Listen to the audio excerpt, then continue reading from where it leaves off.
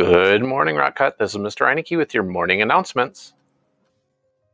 Let's start off with a moment of silence. And as you're enjoying your moment of silence, breathe in and breathe out. Slow down your breath, breathe in and breathe out. And just keep breathing slow and steady.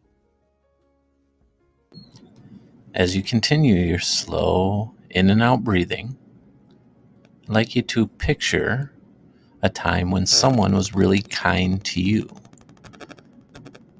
Try to picture it vividly and try to remember how you felt when someone else was really kind to you and just hold that in your mind.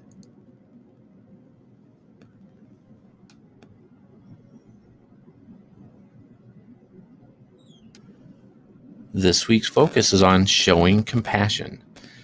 Showing compassion is understanding how someone else is feeling and then doing something to show that you understand.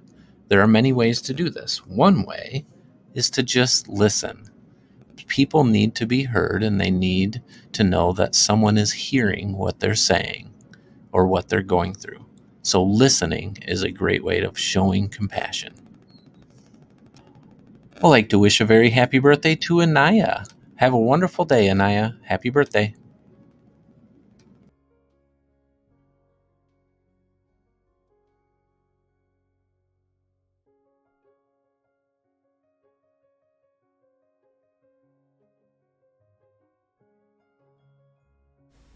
Yo prometo lealtad a la bandera de los Estados Unidos de América y a la República que representa una nación bajo Dios, indivisible, con libertad y justicia para todos.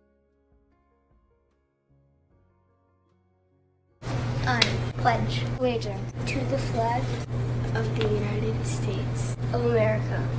And to the republic for which it stands, one nation, under God, indivisible, with liberty and justice for all.